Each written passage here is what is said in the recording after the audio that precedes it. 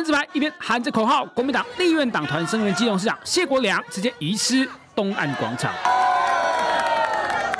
我在这边好像大家有点看不太到，因为 net 案的关系，所以谢国良市长做的不好。可是我们要问市长，目前官司我们已经胜利几次了？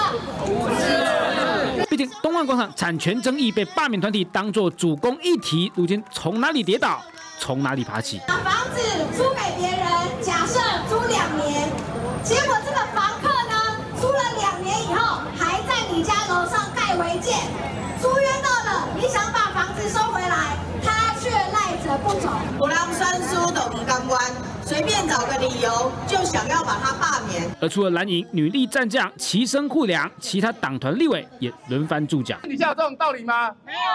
收贿的市府团队来指责。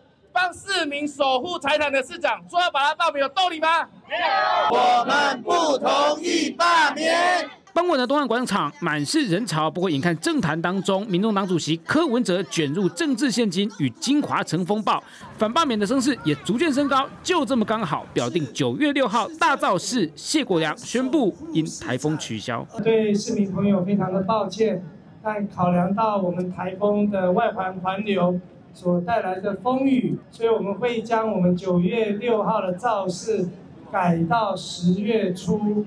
防台要紧，至于肇事可以等一个月后再议。